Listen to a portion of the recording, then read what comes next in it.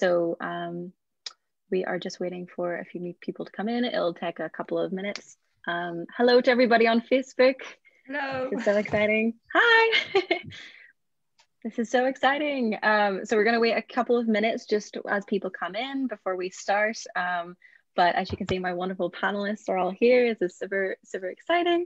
Um, and we'll be able to just uh, start talking in a few minutes. Um, I'll give it until about one minute past and then I'll do my introduction. Fantastic. I can see some people coming in already. Okay, it's one minute past and I hear awkward silences, so I'm just going to start.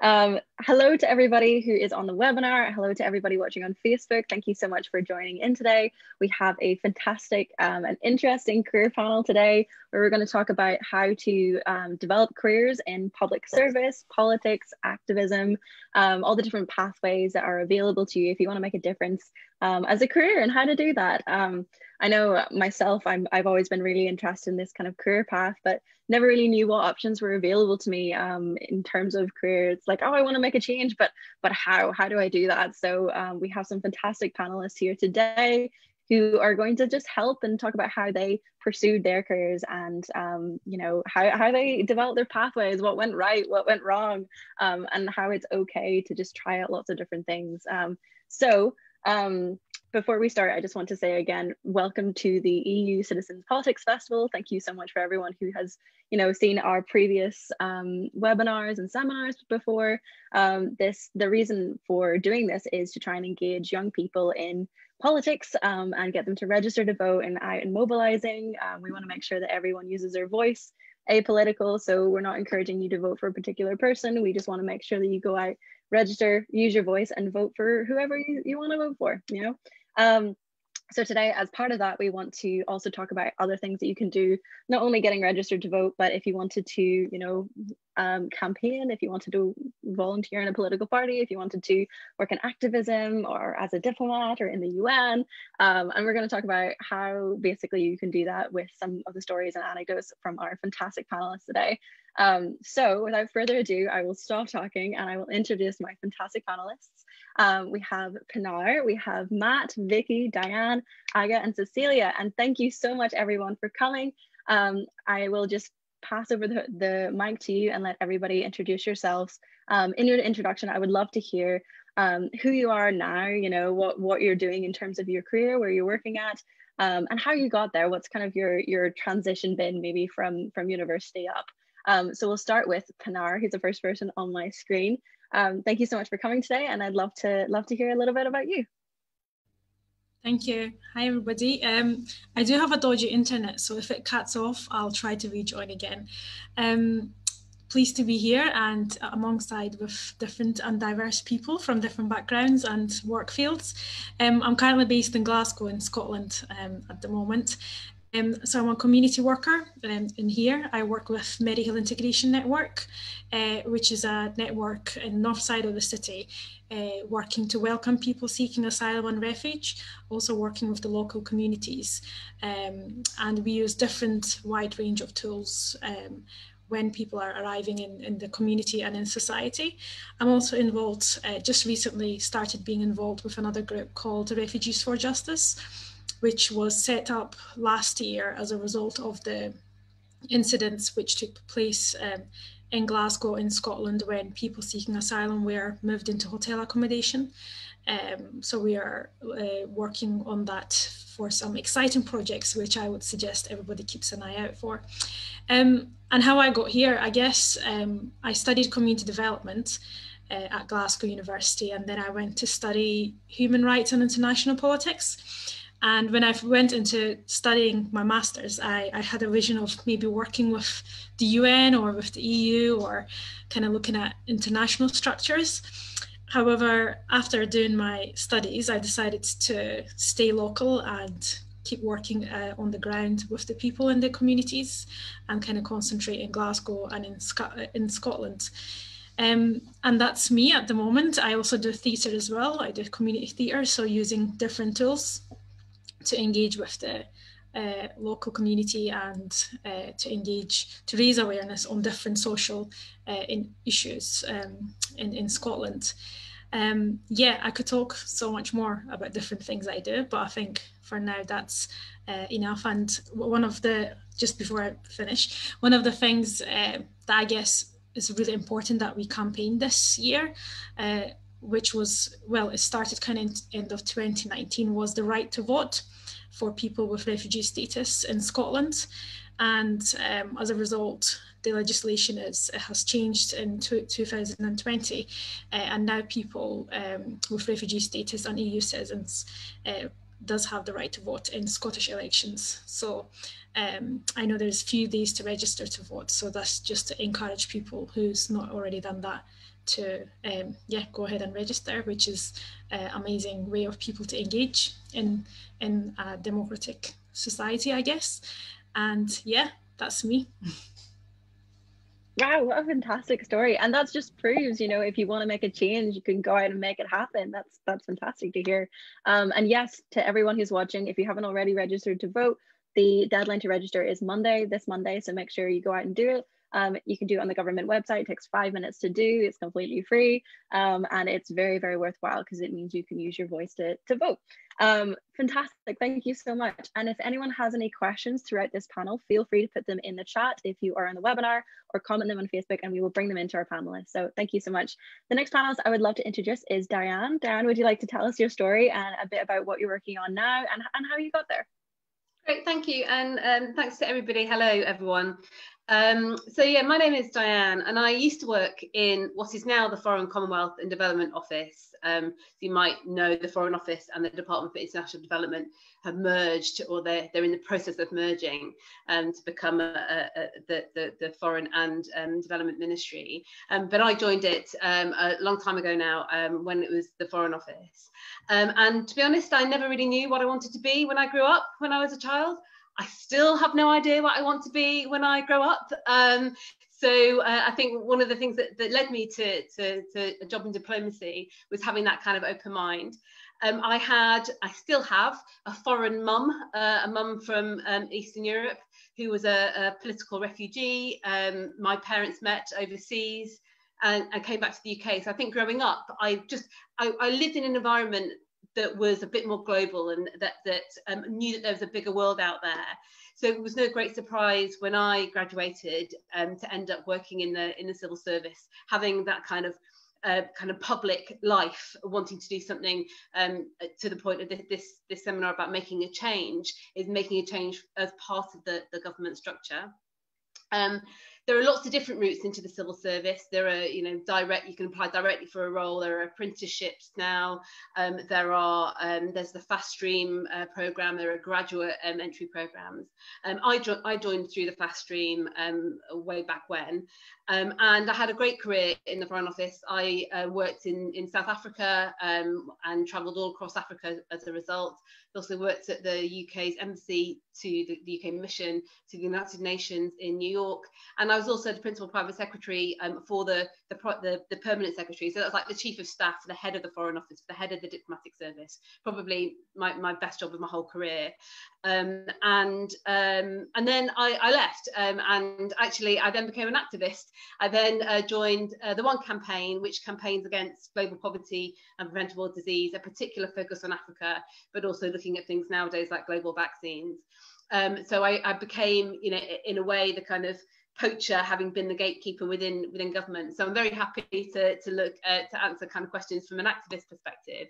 Um, but I, I am conscious that, that really my role here today is to talk about um, the civil service and diplomacy. Um, so yeah, so uh, as I say, I still don't quite know what I want to be when I grow up. So if anybody has any thoughts for me, I'm very happy to to hear them. Thanks. Thank you so much, Diane. And yes, that's great. That's another example about how, you know, you don't have to necessarily just be one thing. You can start off, you know, going into the civil service, you can go into activism, you can go back, you can do lots of different things. Um, so that's a great, great example of how a career path doesn't necessarily have to just be one thing, uh, which is another thing we're going to be talking about today. And Vicky, I would love to hear your story because I know your career path um, follows the same kind of way of, of doing lots of different things. So I would love to, to hear from you. Hello, uh, my name's Vicky, and I am currently working as an independent human rights consultant. Um, my background is really quite varied and quite sort of diverse in the human rights field, um, and sort of touches on lots of different bits of the human rights world. To sort of summarize it in a very short way, I qualified as a lawyer, so I'm a, a human rights lawyer by background and profession, and um, got a master's degree in human rights and civil liberties. But my career path has taken me to work for the UN in Kosovo, to work for the Council of Europe in Strasbourg. Um, I had a couple of stints there, to working as a civil servant as a government lawyer, um, so working on national security and terrorism cases, um, to working for the Scottish Human Rights Commission um, in that respect, and then um, back to uh, sort of semi-civil service where I was back actually at the Foreign Office as well as a human rights advisor to the Foreign Office, advising any Foreign Office staff on um, human rights issues affecting British nationals detained overseas. So um, that cut across the world and um, quite a busy, busy kind of caseload there. Um, to some academia as well, um, teaching human rights law at Surrey University. So suffice to say, my, my human rights career has followed no real trajectory. I've just taken every opportunity that's come my way, generally never said no to anything, um, uh, to, to where I am sort of now um, working on prisoners' rights, prison reform, dignity behind bars is my sort of area.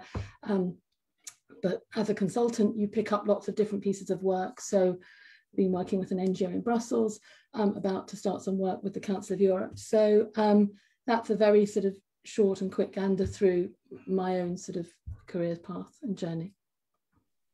Thank you so much. And yet another example of the fact that, you know, you could work as a consultant, do lots of different things. You know, you don't have to necessarily be refined to one thing, which I think is super important to, to really talk about. Um, as someone who myself was like, what should I do?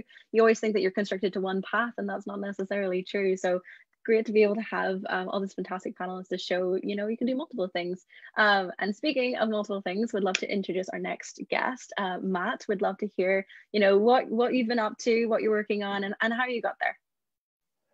Oh God, um, I, I definitely didn't. I, I, still don't have a clue of what I'm going to do at times. Um, just to give you an example, my BA, you can hear me okay? Sorry, just good. Yep, good. My BA was in media and film studies, and then I decided to go on and do a master's in sociology, and I ended up doing uh, finishing up a PhD in tech policy. so it was a roundabout way. Um, I used to work in freelance film for a bit, and then I ended up falling. I originally wanted to become a documentary filmmaker, and I realized I, I was basically doing sociology work. I just hadn't realized it, and then just stumbled along. Um, I, I at the end of it, I really wanted to become an academic, but the more and more I went through the PhD process, the more I thought maybe this isn't for me. I want to get out there and and meet real people and and uh, literally, I, I literally I think I would love to grow up and be Diane and Vicky in the future. Would be would be my goal at this point. Um, how lo- how amazing they are. Um, and I ended up stumbling into a role where I wrote a couple of concept papers on the idea of cyber peacekeeping. And lo and behold, to my amazement, people took me seriously. So that was a first experience. and from that went, it just developed from conversations with uh, the British and Irish Foreign Affairs departments. And they said this could be a real thing. And from that, I decided I would go and be a founder at a startup. So I founded my own startup in trying to create uh, tech solutions um, for peacekeeping. Um, so that, that's sort of where I'm at now. Um, how that's going, we'll, I'll, I'll, I'll, like to tell you in six months. We're just at the start. Um, but we're trying to right now initialize why we're different from everybody else. Um, so if you told me a year ago I'd be doing this, wouldn't believe you. If you told me five years ago I ended up doing a PhD, different different different points. And um, one thing I'd say is just uh, don't. One thing I've definitely learned, and I'll I'll, I'll finish my comment is. Uh, don't don't think you have one path. When an opportunity comes, just go and pursue it and see what it'd be like. And if it doesn't work out, you can always go back to what you were starting. Don't feel that door's ever cut off you know, as, as long as you're nice and you don't you don't you don't uh, annoy annoy people the way. Normally, people are always very generous of their time and always help and always very helpful and caring in how they can help you. Thank you so much. And yes, again, another um, example about how, you know, when you're working in, in public service or, or activism, it doesn't necessarily have to be, you know, in, in an NGO. For example, you could start up your, your own company, you could work in social enterprise, corporate responsibility, all these different things that are also, you know, making a difference, which is really important to, to keep in mind as well. If you're worried about, I know a lot of us worry about income and things like that, because unfortunately working in public service usually has quite um, a low salary, which is very unfortunate and something I'd love to campaign against. But um, it is worth noting that there's lots of different ways that you can still pursue something um, if you are financially um, restricted as well. Um, so great, great, great points. The next person I would love to introduce is Aga. I would love to hear hear from you and hear about your story. Hello, everybody. I hope you can hear me. Good to be here today. Uh, thank you very much for invitation. I just wondering where to start with myself. I moved to England 14 years ago.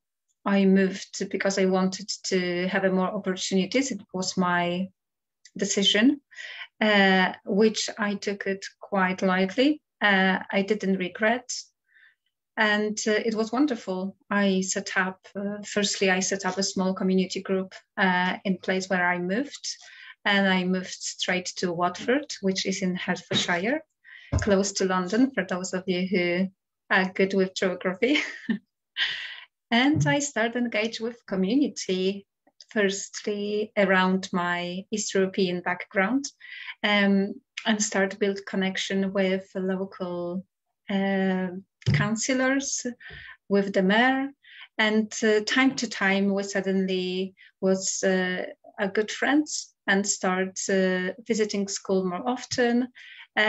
Uh, and uh, surprisingly, in 2016, I was elected as the first Polish councillor. Since then, uh, I enjoyed my role. when you back to 2016, it was quite interesting time for England because uh, two weeks later we had a referendum do we want to stay or do we want to leave so uh, be elected as an unknown person uh, as a counselor who represents people uh, it was huge surprise for myself because when i started i never thought that it will be the case.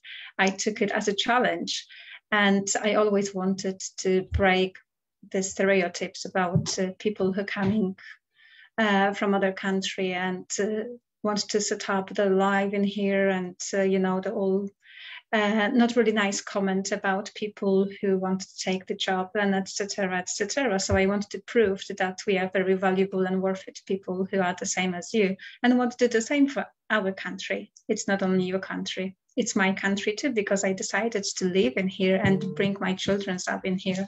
So it was wonderful to do it. Uh, since then, um, I was elected as a vice chairman of licensing committee. Uh, I was quite active. I was a member of budget panel, um, and so and on and on with different committees and involvements.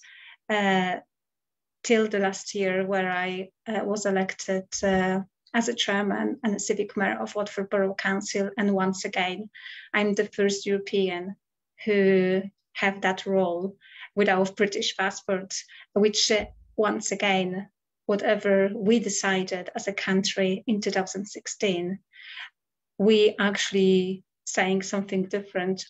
And the amount of uh, support from residents and people who elected me not only once, to be their representative.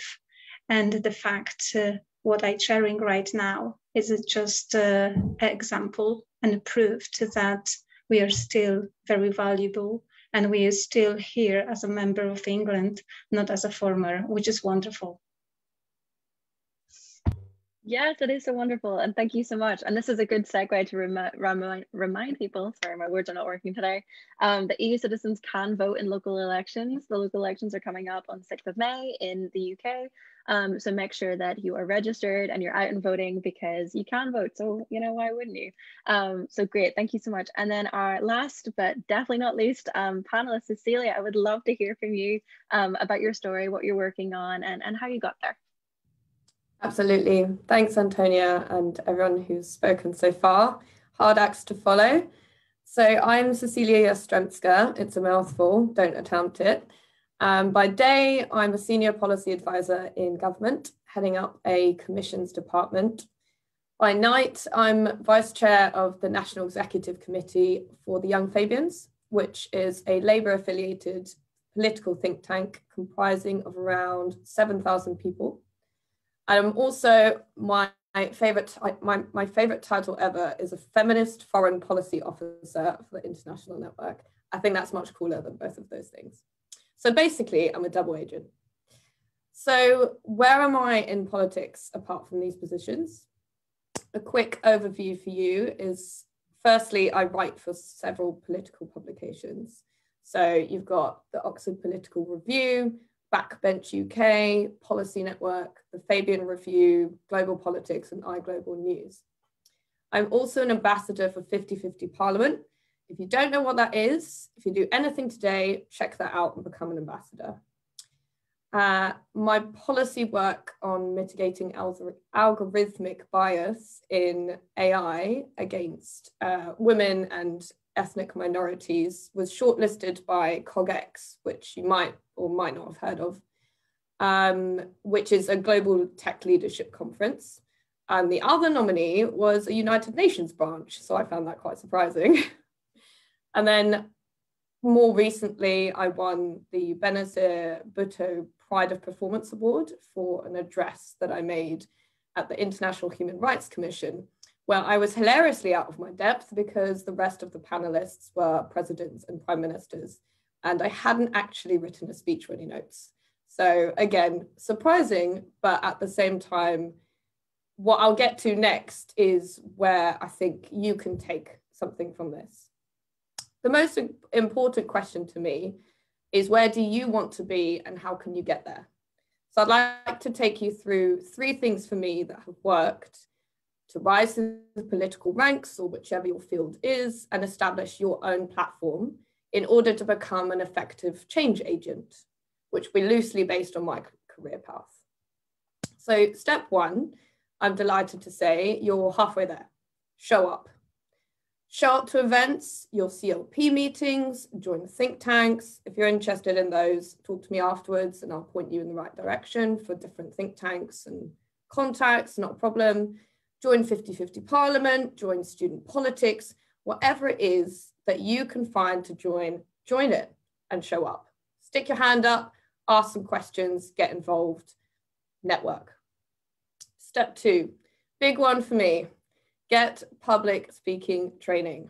There is nothing worse than having those sweaty palms, dry mouth, mind running away with you, your mouth not matching up to your mind, and not being able to articulate your conceptualizations, your ideologies, and not being able to do you and your cause justice when you're given the opportunity to. To keep your hand down because you're too scared to ask a question in a really amazing foreign policy debate or wherever you are. So, join Toastmasters International, debating societies, Model United Nations, whatever you can find, and volunteer for speaking opportunities. The only way to get good is practice. There is no such thing as an excellent, born, innately, intrinsically skilled public speaker. They have had coaching beyond coaching. So stick your hand up. If you've got policy experience and expertise on a particular field and your think tank is doing an event on it, then say, hey, I'd quite like to speak about that. Would you be interested in having me on your panel? Boom, you'd be surprised how many people will say yes. Getting panelists is not easy, as Antonia probably knows. That people are busy. And if you've got someone who's wi willing to impart their knowledge and expertise, which you do have in some field somewhere, they'll be incredibly grateful. And suddenly, after that one point, you are on your way to becoming that thought leader in your field. You're on your way to establishing that credibility. I remember I founded my own company, We Speak International, more of a network, uh, about a year ago. And this was prior to this, I had joined a different network online on, on a place called Meetup. And I did a bit of coaching for them. I stuck, stuck my hand and said, Yeah, I'm happy to coach. And then I had a bit of a choice. I had a bit of a dilemma. The guy who ran it was incredibly misogynistic. I'm very happy to admit that. And he put me down in front of all the other inevitably male coaches. And he would ask questions to the audience like, why do you think men are better than women? And I had a similar, ex- I had, I've had similar experiences before, and I basically had two routes. Do I want to drop this and leave it because it was becoming absolutely insufferable? Or do I want to pursue it? So I took the second path and I founded We Speak. And let me tell you, so I coach participants twice a week, have done so for about a year. The transformation is incredible between people from people who are complete introverts, who would be flustered, not able to pause, speaking at 100 miles per hour, and also not even being able to take an impromptu table topic until about a minute of silence had gone by. Now I can tell them to talk about a vase and they will give you the most fantastic professional sounding speech about that vase. They will pivot to what they want to talk about. They will have the hands, they will have the points, they will have the techniques. So get some public speaking training. And the third is run for election or go for that position that you want. Keep an open mind. Vicky and Diane have both outlined expertly exactly how varied one's career trajectory can be and how that's not a bad thing. There is no linear path, there's no set structure that you need to follow. So don't be worried about opportunity costs. Instead, take those opportunities, grab that bull by the horns, and where there aren't opportunities, make them for yourself. Thank you. Wow, thank you so much. It is so wonderful to have such an impressive panel here. So thank you to everybody um, for introducing yourself and thank you for those top tips as well because uh, just reiterating, it's so important to have public speaking experience just to be able to feel comfortable. Um, and you should never say no, just like what Vicky was saying, you know, when you get an opportunity, don't say no, take it. You never know where it'll lead you. Um, if it leads you somewhere you don't like, that's okay. You can always change. You can always do something else like Cecilia did. Um, so the opportunities are endless. So don't be too afraid to grab them because you never know what could happen. Um, so everyone who's watching, again, feel free to throw in your comments um, and questions. We'd love to include them. But building on um, what we've been talking about, I would love to ask the entire panel, what has been the biggest or most memorable, memorable learning experience that you had in your career? And I'll open this to the entire panel. So if anyone has a particular um, experience that they want to talk about, feel free to, to raise your hand or to jump in and would love to to hear from you. I'm not going to cold call in case um, you know it's quite a difficult question, but um, yes, I would love to hear from everyone about your most memorable experience or something that that really changed your your thinking in your career. I can start to share my experience, uh, which I will be remember always uh, back to 2016 when I was um, elected first time as a councillor uh, it was 6th of May, funny enough. It was the 6th of May. Uh, my colleagues who was on the hall that uh, day, they cried because it was historical moment for them, knowing that we have a referendum two weeks after. And uh, when the referendum uh, took place and my town decided, the people who lived in my town, they decided that uh, by small percentage. It was 4%. They decided that they want to leave UK, EU. So um, it was surprised by everybody. It was only 4%, but it's still, they want to leave. They didn't want to remain. I had a, such a wonderful and powerful messages from all people across Watford who emailing to me, calling to me, messaging to me, saying that we don't care about the color of your passport. You are one of us. You are one with us, and we never will be put that between us because, regardless of the color, we are together in it. It was wonderful to have support then and to continue with the support till now. Thank you so much. Thank you so much. That's so wonderful to hear. And especially, you know, with all the kind of um, hostility and, and animosity that is out there, it's it's really important to remind yourselves that, you know, there are people who really care and, you know, want to want to bust you up instead of tearing you down. So that's such a wonderful experience. Um, thank you so much. Does anyone else have any um, learning experiences that that really really shapes, you know, their their career? If not, that's okay. But I would love to hear hear from everyone. I could if I could just jump in, um, one thing that's took me a long, long time to realize is my time is precious. And I, I don't know if you feel if you're starting out, you feel you have to say yes to everything. I agree with Cecilia, take opportunities as, you as you totally can, but you you don't value your own time and you need to be strategic with it. And whatever mechanism you find the way to, I, I go for the Warren Buffett method, or on that day, what is the most important, I will attend to. I'm, I'm not very good at mapping everything out. And anytime I saw anybody in their diaries were mapped out to the final minute, gave me complete anxiety. I thought, I don't operate that way. And I thought that was the idealized way to work. Figure out how you can do your own time management. And remember, your time's important. Make sure you always carve out those moments of family and people you care about as well. Because I think when you can be really busy, you forget about that. And sometimes they suffer. And it's very important to have them along the journey as well. I always think so time management. I, I don't know why I'm being I'm making it such a boring subject, but it is really important because you're of value, and I think that gets missed an awful lot. And if you're of value, your time's valuable. Completely, completely. As someone who's currently doing a master's and has two jobs, um, I completely agree with that.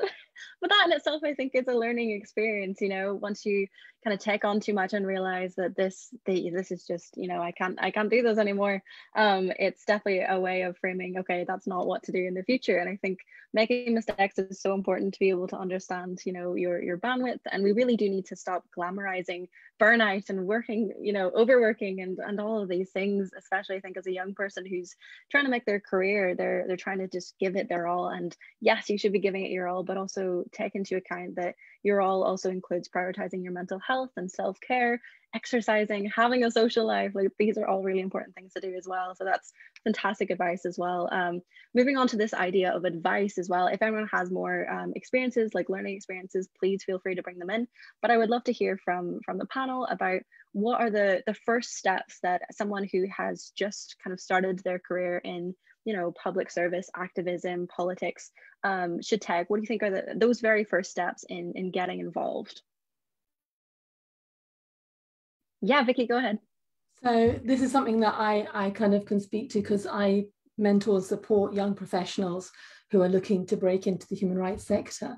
And i think there are sort of two or three really key things that, that um, young professionals can be doing as of now.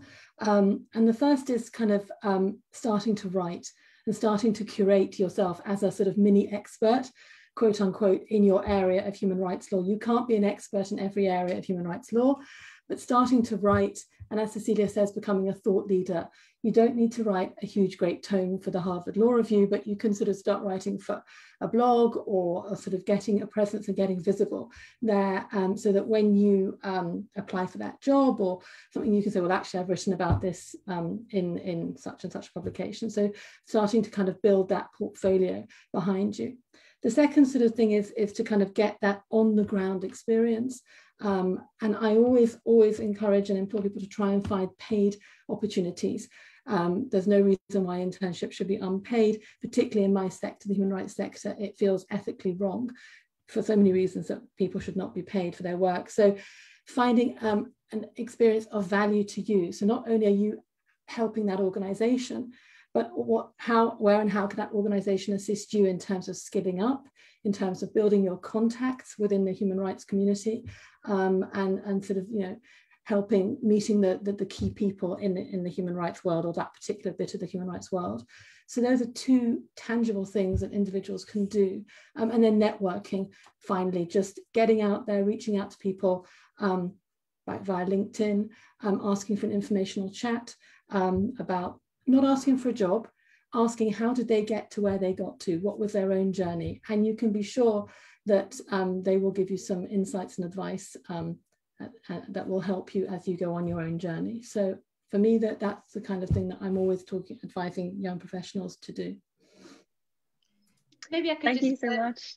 Yeah, go ahead. Just add to, to Vicky's point because um, I think one thing I would say to, to people, not just starting out in, in their careers, but even people, um, you know, at, at, my age and my stage who are also thinking about what to do, is not to be afraid of having those conversations that rule things out. I remember really clearly when I was thinking about leaving the Foreign Office, but wasn't entirely sure what to do next. I looked up a number of people that had left the Foreign Office before to find out what they did, and there was one one person who was on as a comment to uh, Lloyd's of London, the the, the huge um, insurance company, um, and um, I went along to Lloyd's. He took me for a coffee. He, he gave me a bit of a tour of the building, of the trading floor, and then we sat and had a coffee. I was there for a couple of hours. Two hours of my life that I will never get back and the, the the number one thing i mean i really really value the the, the man that i met um, and and and his time because i learned in those two hours that, that financial services were not for me. I wasn't excited it didn't align with my values it wasn't something that i i couldn't envisage myself in that building. And so for, for the investment of two hours it, it helped me um, kind of clear a pathway that that was a whole part of, uh, of, um, of a career that I didn't want to pursue. So, um, so I kind of joked to say it's two hours of my life that I never get back, but that was a really smart investment, and I'm grateful to the to the person that I met. So don't be afraid that um, if you have a coffee with somebody and and you feel like, oh, it doesn't quite feel like me or you reach out to them for some advice and it doesn't quite match that wasn't wasted time that that's really helpful in in in kind of in the jigsaw puzzle of working out well what do you want to do um, while um, kind of carving out things that you don't want to do Yes, thank you so much. And again, I think it, what we're hearing here is it's okay to do multiple things. It's okay to kind of learn um, as you're going, and that those kind of learning experiences. It's okay to not not necessarily make mistakes. I mean, it is okay to make mistakes, but also just to to do things and to try things out. And if they don't work out, that's okay too. You know, it doesn't have to be the biggest thing. Um, Darren, we actually have a question here for you in the chat, so I'd love to hear um, what are the pros and cons of being a diplomat. Uh, what a great, what a great question. I can speak much more freely now that I'm an ex-diplomat because I, I, don't feel that I'm being listened to by. Uh, I won't be reported back. Back. Um, what are the pros? Well, you know, decisions, foreign policy decisions, are made by governments and they're made by ministers, and being part of that machinery um, is is is a real privilege, and um, being able to influence um, your own system, but also being able to influence the, the systems of other countries um, and, and, building alliances, building um, uh, trust, building relationships with other diplomats. Um, and, and kind of moving things forward in the real world was something that I always enjoyed. I remember uh, uh, one of my, my roles was heading up the United Nations uh, political team in, in London. And I remember waking up one morning um, uh, several years ago to listen to the, the, the seven o'clock news on Radio 4 and the top three headlines were, um, and I can't remember the order, but it was a, a, an Iranian nuclear problem. North Korea was testing a ballistic missile, and there was a, a problem in um, Lebanon, um, unrest in Lebanon. And I literally lay in bed, and I was like, "That is my in tray. That is those are the three issues I'm working on right now. I better go to work."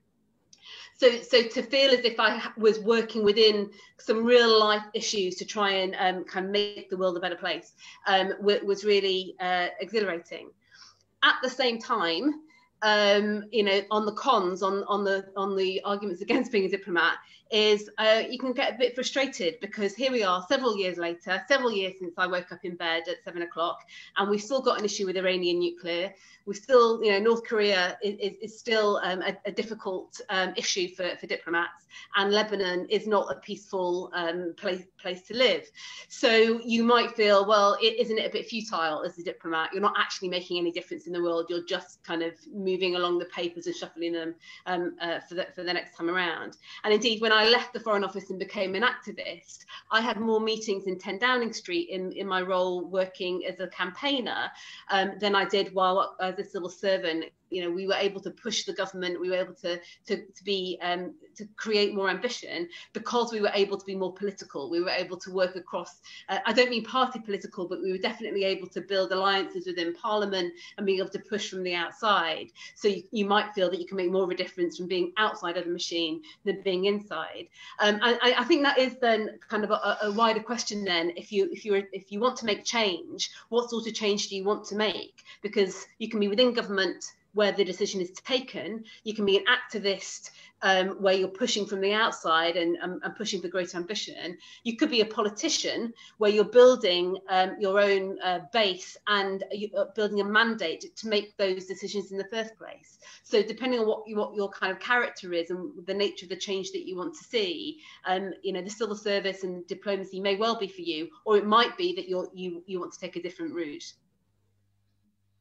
Thank you so much. Yes, and I think that that idea of of immediacy, I think, is really important to bring up as well. Those people who you know want to make change. That sometimes you can have that immediate change and it's fantastic, but sometimes it takes a lot of work. It can take years. You might not see anything happening, but that doesn't mean it's not happening. It doesn't mean that you're not helping and, and making an impact. So it is really important, I think, to to get in that mindset of what kind of change are you looking for and how comfortable are you with with waiting a little bit to to see that change. So thank you so much, Diane. I would love to ask um, Pinar actually your experience with campaigning as well, and you know how how a person could kind of get involved with that um, over over time as well. Yeah, I was actually just going to contribute to what Diane was talking about. I think one of the key things is what I've been doing and what we do with the groups I work is uh, outlining and doing a campaign planning. And I think that is extremely beneficial at the very start of the process, whether what your object of the the subject of the campaign is, and ide- identifying um, the campaign. I think um, one of the things that we do at the moment is um, when you're doing a campaign, if it's a very overall big thing, I think it's you need to be realistic about what you can achieve in the time space. So I think having a narrow and focusing on a campaign. So whether that's the one that we worked about right to vote, so something that is could be achievable in a short space of time. And the bigger the campaign is, the bigger you have to be realistic about how long it's going to take. I love, um, I'm a very visual person, so um, I love doing mind maps and that's how my kind of head works. so obviously, when you start writing down, and um, that's one way. But when you do mind mapping and you you identify what the goal is, and then what the barriers is, and who your allies is, I think, um, and mapping that out is one of the key aspects. And I think what already been said about um, not giving up and um, understanding from the very beginning when you do a campaign uh, it might take years or it might take months so being realistic about the time scale and not being defeated when when you don't achieve that campaign within six months. Um, I think that's one of the key things, and I think. Um, if you're working in a field that you're passionate about, everything will follow afterwards. Um, and you have to be, I think, passionate about whether that's human rights, whether that's um, refugee rights as human rights or asylum uh, rights. Um, and it's really important that you're passionate about the field. Um, if not, or if you don't like your job, then it will be very miserable for you and for the people that you're working with. Um, one of the things that I had um, over the years learned is the involvement of the people that you're advocating for the issue. Um, as somebody who lived through the asylum system and now working in the field, I, think the value of uh, involving people with lived experience is extremely important. And I think that's where the true change and uh, campaigning takes place. Because if you are continuously advocating on behalf of somebody, then their voice is not going to be heard, uh, and you're not going to have a true feeling about what the issues are uh, that, that, that they are facing. Um, I mean, the the example of the right to vote campaign, which was done with uh, our organisation and with Scottish Refugee Council and Voices Network of British Red Cross, um, was also highlighting the importance of partnership and networking and working together when you're doing uh, campaigning and when you're advocating for change. Uh, and I think that's something that in the third sector or even, um, you know, in, in, in our kind of area of work that we need to work more on because we are uh, at the end of the day kind of advocating and working towards a better asylum and immigration system. Um, so we need to bring the expertise and the experiences we have within the field and the sector to to make the changes. Um, just going back to kind of that memorable moment, I think um, when we we went to the Scottish Parliament when the when they were uh, debating the legislation for the voting, and I think that was such a beautiful space and moment when uh, the amendment for refugees uh, was passed and included in the change of legislation, um, which now means you know people in Scotland with refugee status can vote in uh, the local election, and that was such a memorable moment. I think people will remember, uh, and it will provide people voices for voting in in, in the future elections. Um, yeah, so I think the mind mapping is the key, being uh, and involving creative elements when campaigning, um, and thinking, you know, not being afraid to like take risks and chance. Um, I mean, I use theatre as a way of uh, when we do campaigning or role plays. Um, um, that's another key aspect as well. Um, yeah, that's what I would say for campaigning. Um, yeah. couldn't agree more. I'm happy to come in after you, Pinar. So, I mean, I've already outlined a couple of steps, but I was thinking about learning experiences for me in my career. And actually, a lot of that has come from conflict. And I think in our careers as politicians, as diplomats, as human rights lawyers, and everything else, we're going to come up against difficult people. We're going to come up against people who want to push us out of the way, to take our platform, don't want, want, don't want us to have that platform or fight for that cause. Whether that's from a purely egotistical reason or whether that's a monetized financial incentive that they've got to shut you down. And I was thinking, as everyone was talking about some of the things that were quite pivotal for me. So, for example, I remember a time where I organized a really interesting foreign policy debate with some brilliant speakers and had everything ready the date the zoom link you know everything everything was good to go. In fact it wasn't even zoom it was it was physical.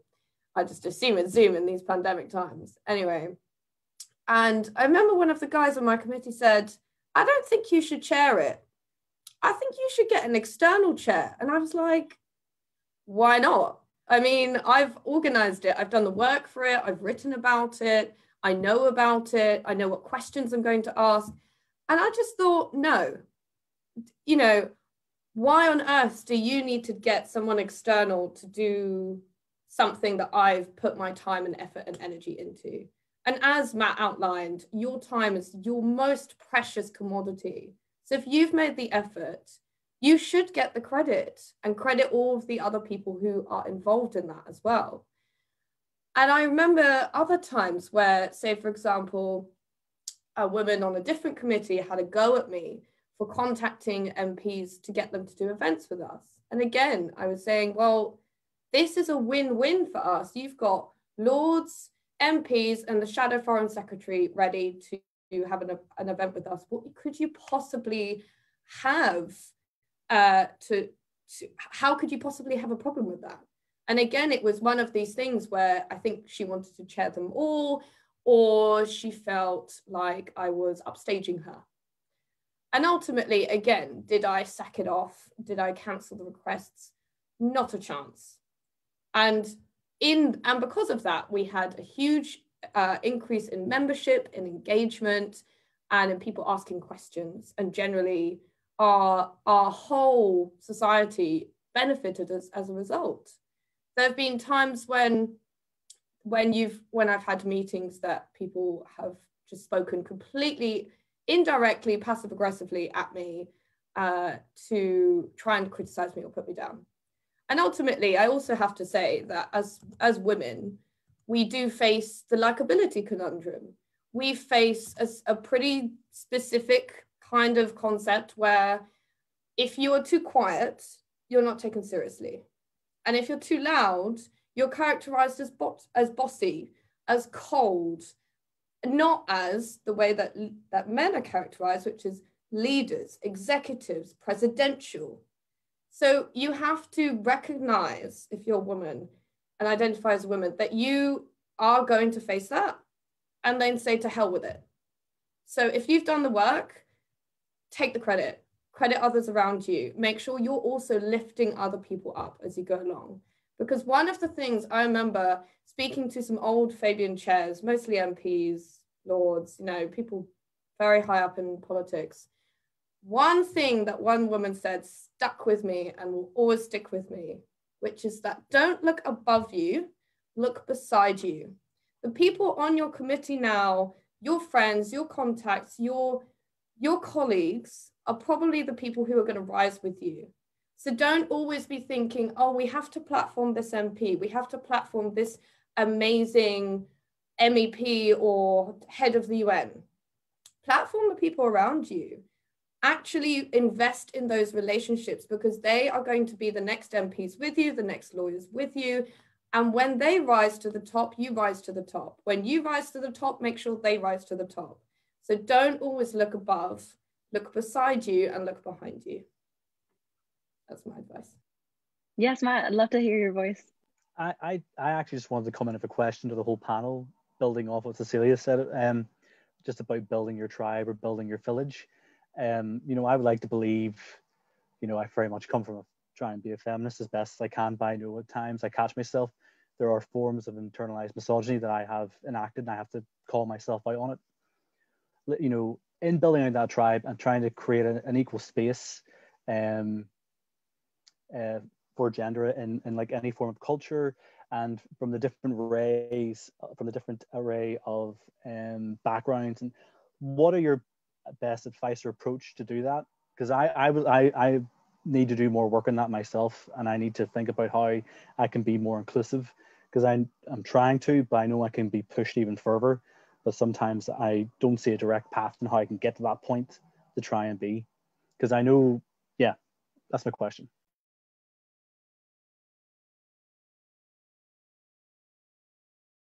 Yeah, come on.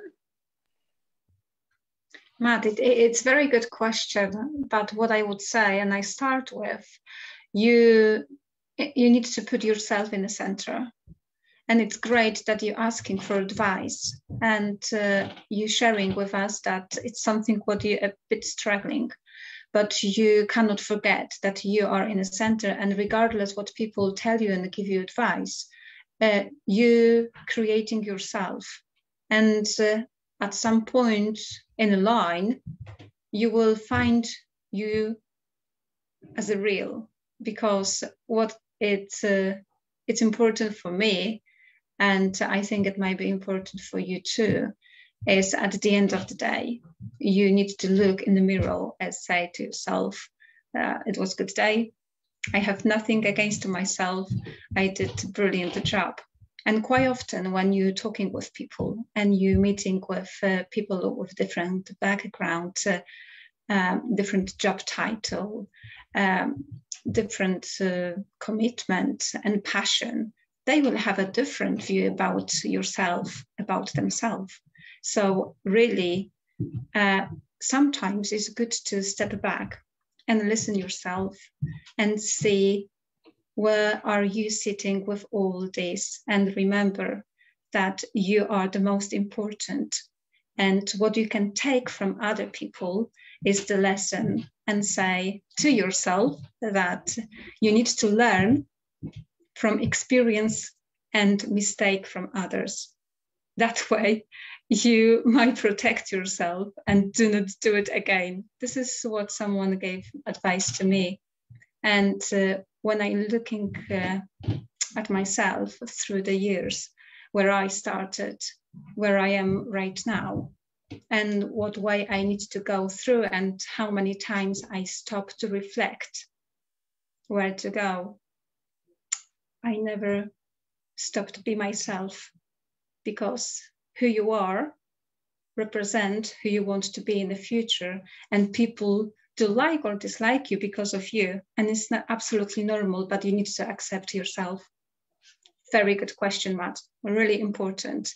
And I hope that all people can take it who listening us right now or maybe um, seeing the records later to remember that you need to do the first step and don't try to be someone who are not you are because who you are is the best value of yourself. Thank you. Just to add to that, that's really powerful. I think um, I think having that space for reflection, like you said, is the most important thing, and critically thinking about what you are doing and not just doing it for the sake of doing it and going along with things just because that's the time and that's what people asked you to do. And I think once you get caught in the moment of just saying yes to everything and just keep doing it, then yeah, you, you end up losing what you do and then also you burn out and then you don't know what you're doing. You're just being used by what everyone else is telling you to do or you're just being dragged from one place to another. Um, one of it there's a really great book called um, pedagogy of the oppressed. I don't know if you know from paulo freire and he talks a lot about um, how people are being uh, dehumanized and how people then end up uh, being oppressed into a state of mind that they don't critically think about what is going on and then that where you need a space for reflection and critically thinking about what is going on. I mean, this is a little the topic is kind of sorry, I'm just drifting a bit to about um, people recognizing critical thinking and oppression. But I think uh, whether in the field that you're working, whether it's about migration or um, about any sort of social inequality, it's it's really important that also the community that you work with they are critically aware of what is going around them uh, and they're not being naively just dragged along with the cause. Um, and that's something that i maybe naively is not the right word but that's something that i really passionate about when we campaign on works that people are also aware of their rights. Um, and um, as somebody who because i went i uh, faced uh, detention when we were seeking asylum um, to, to explain the experience, people used to come up and say, Can you speak at this platform, at that platform? And you end up just speaking at different places, but you never had that moment of reflecting and thinking about yourself. And right now, I'm really passionate about having that space for people um, actually, when whatever experience they faced, um, to respect their stories and it is also to respect their experiences. Um, and I think if you're a community worker or if you work with people who directly had an effect of whatever the situation is, that's one of the key things that you need to recognize is people's experiences and respect people's experiences and have a platform where they can, um, yeah, experience um, kind of platform where they can feel safe or uh, have that support mechanism. Um, sorry, I've kind of drifted the topic, but um, I think if you're working with communities, it's, it's really important that you have these skills and you have this uh, knowledge and thinking behind all the time uh, when you're working directly with the people. Um, yeah. Thanks. Thank you so much. And I'm so I'm cognizant of the time that we only have four minutes left, and I want to wrap up on time to just be respectful of all the panelists' time because again, as we pointed out, time is your most precious um, asset that you have. So let's be respectful. Um, but the last question I have there's a question here in the chat and I'm going to combine it with, with my final question. So the question in the chat is about how EU citizens can get involved if they don't necessarily want to apply for British citizenship. But I'm also going to combine that with my last question to everybody here. And I would love to hear everyone, so please try and keep your um, answers short. Um, with what kind of action items can people who are looking to to make change get involved, whether that's you know a, a specific organization that you're working on now, I would love to hear about that, um, or whether that's just a kind of top tip that you give to, to people. Please again, try and keep your answers short, but I would love to hear from everybody about that kind of action items um, moving on. Maybe I, can just uh, throw out there and say, I mean, it might be obvious, but you can't join the Foreign Office or the, the Foreign Commonwealth and Development Office um, if you're not a British citizen. You can have more than one nationality, but but one of them must be British. So it does close the door to to, to that option. But there are a ton of other options within um, civic life, in local government and in national government for people that want to get involved in in the kind of um, in the, the, the, the, official capacity, but then, um, you know, drawing on, on, on where my career has been, also getting involved from the outside in, in a campaign group or for a charity um, is obviously another way of making real change um, within communities.